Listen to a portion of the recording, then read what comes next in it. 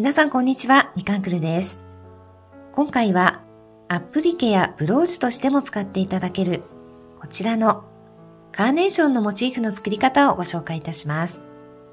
実はこちらの作品、以前動画でご紹介しているものを少しアレンジしてさらに使いやすい形に仕上げてみました。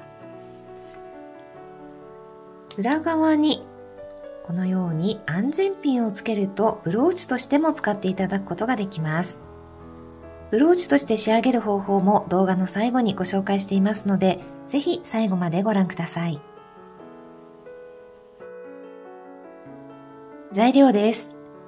今回使用するのは、エッグプラムさんのコットンビーザバッグというこちらの糸です。今回私は、レッドとコットンカーキの2色を使用して編んでいきます。かぎ針は 3.5mm6 号サイズのものを使用して編んでいきます。まず茎部分から編み始めていきます。鎖編みの始めの結び目を作ります。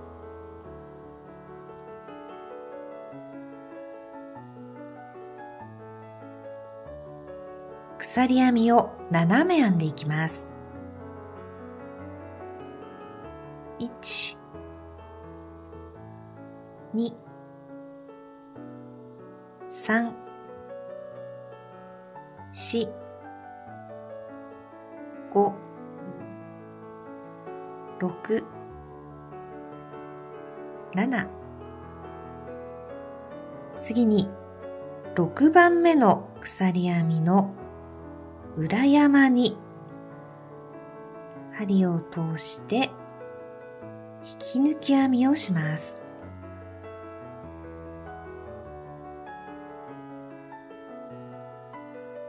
次の裏山から順番にそれぞれ1回ずつ引き抜き編みを繰り返しながら端まで編んでいきます。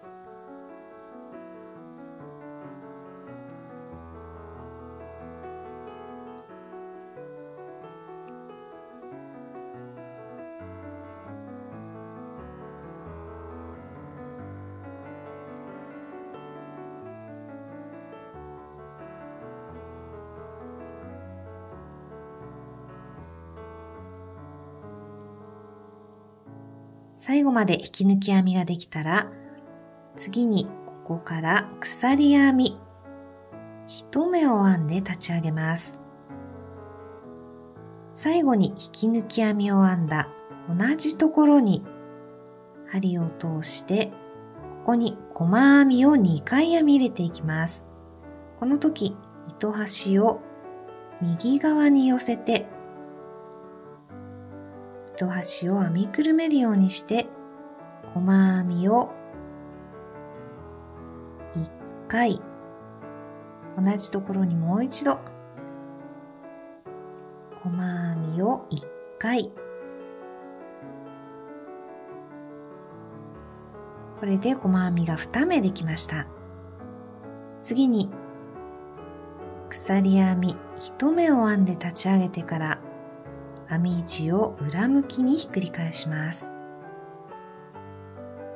すぐ根元の初めの目に針を通して細編みを1回編みます。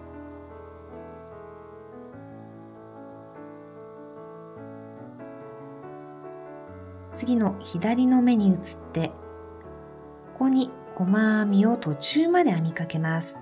この時目に針を通してから糸端を針の上に乗せて編みくるめるようにしながら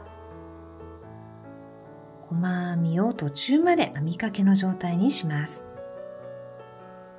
ここで花びらを編むための赤い糸を持ってきます。赤い糸を針にかけてそのまま引き出します。これで編みかけになっていた細編みが完成しました。次にここから赤い糸で鎖編みを2目編みます。1、2、また編み位置を裏向きにひっくり返します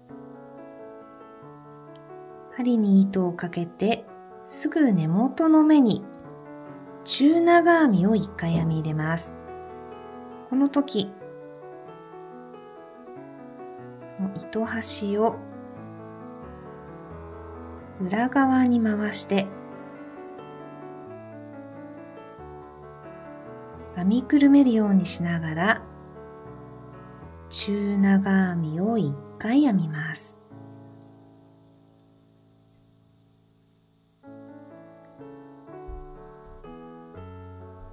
もう一度同じ目に中長編みをもう一つ編み入れます。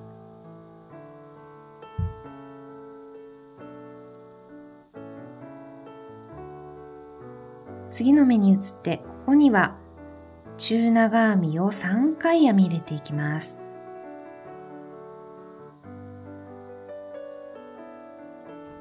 1回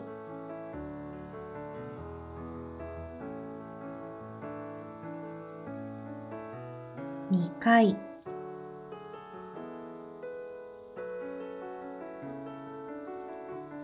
3回。ここまで編めたら今編みくるんできた。糸はもう必要ありませんのでカットします。はじめの糸端も短くカットしてしまって構いません。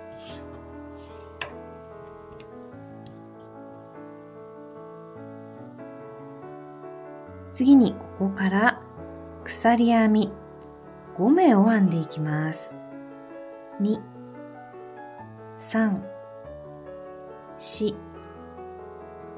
5鎖編み5目が編めたら上から1、2、3番目の鎖編みの左側の1本をすくうようにして引き抜き編みをします。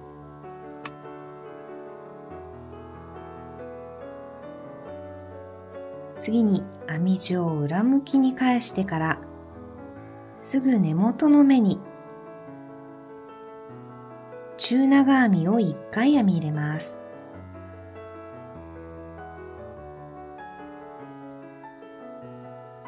次の目に移ってここにも中長編みを1回編み入れます。次に鎖編みを3目編みます。1、2、3。一つ目の鎖編みの左の一本をすくうようにして引き抜き編みをします。中長編みを編み入れた同じところにもう一つ中長編みを編み入れます。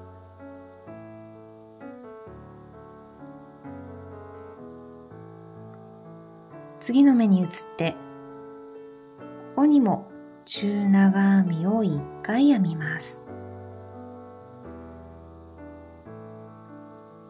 鎖編みを3目編みます。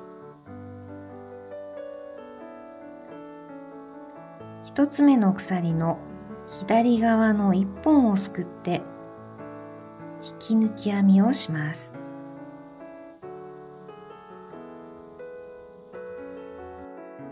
中長編みを編み入れたのと同じところにもう一つ中長編みを編み入れます。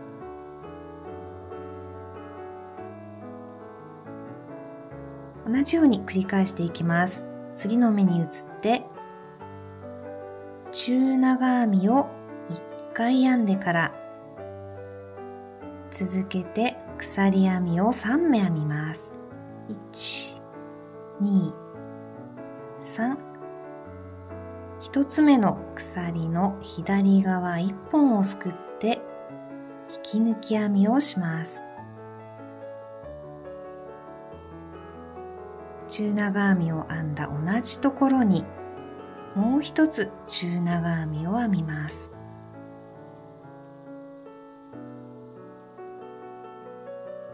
左側の目に移って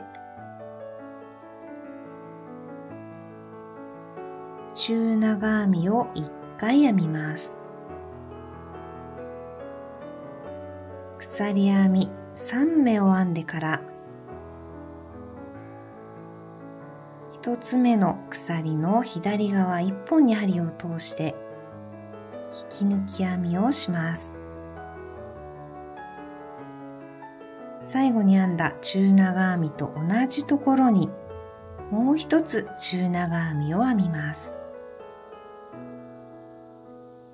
これで端まで編めましたので最後に鎖編みでほどけないようにしてから糸を短くカットします。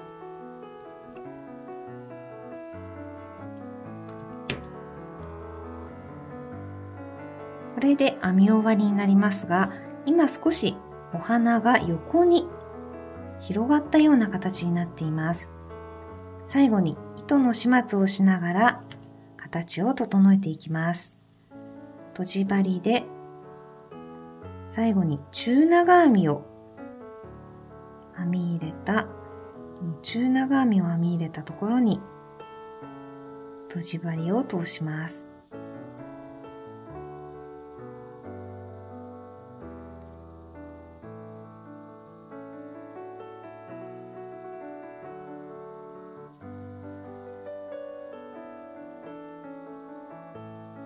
糸端をとじ針に通して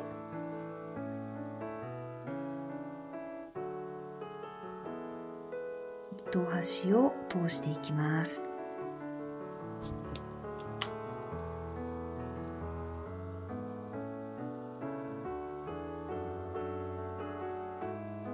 これですっきりと形が整いました。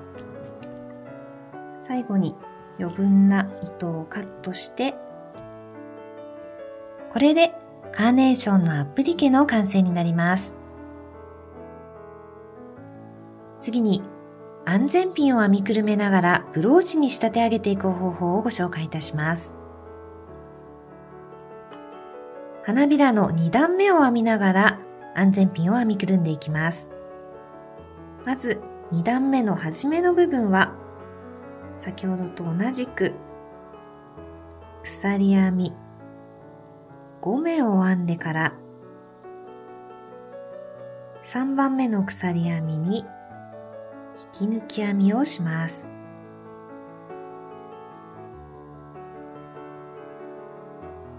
編み地を裏に返してから、まずすぐ根元の目に中長編みを1回編みます。ここまでは先ほどと同じ作業になります。次の目で安全ピンを編みくるんでいきます。安全ピンを編みくるめるのはこの針の部分ではなくて固定されているこちらの部分になります。向きを確認してから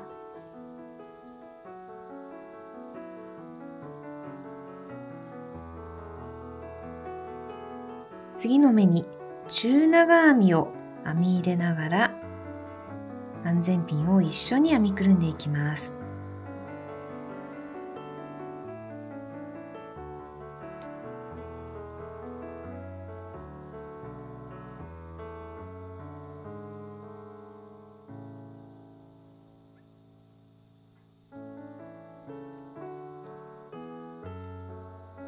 編み方は先ほどと全く同じになりますが中長編みを編み入れるところに常に安全ピンを一緒に編みくるめるようにしていくだけです。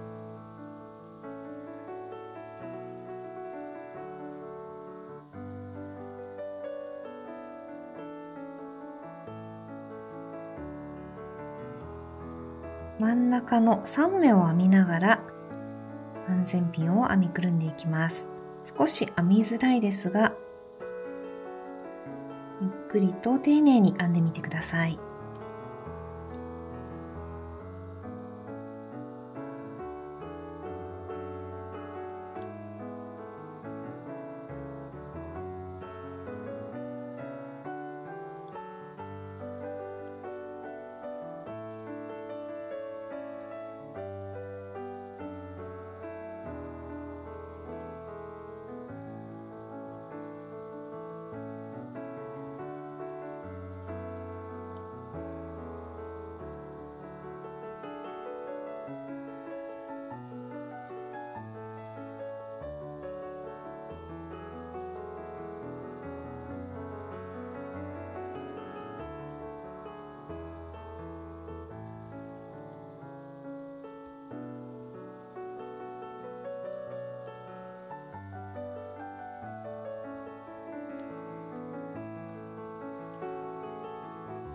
真ん中の3目に安全ピンを編みくるめました。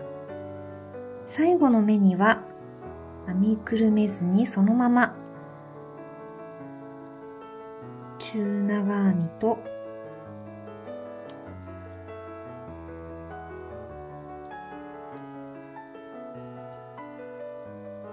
鎖編み3目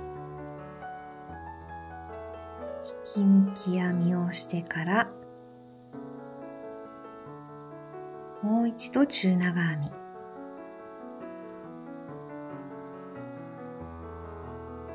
最後に鎖編みでほどきにくくしてから糸をカットします。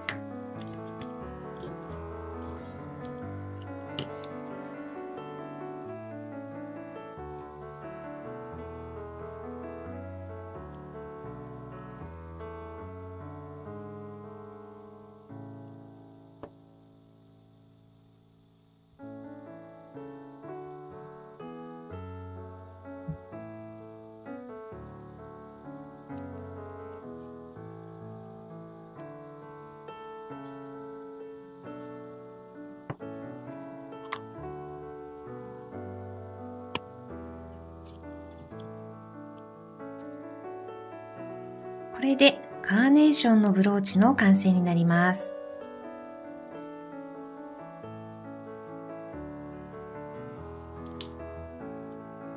そのままアプリケにしたり、ブローチにしたり、皆さんの好きなように活用してみてください。今回も最後までご視聴くださいましてありがとうございました。